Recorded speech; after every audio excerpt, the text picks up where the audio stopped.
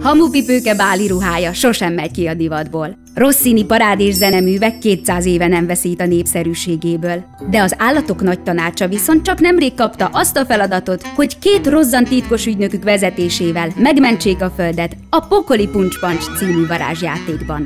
Gyermekbérletes nézőink három előadást nézhetnek meg az idei évadban. A Hamupipőke és a Pokoli Puncspancs mellé igazi klasszikusokból választhatják ki a harmadik fogást.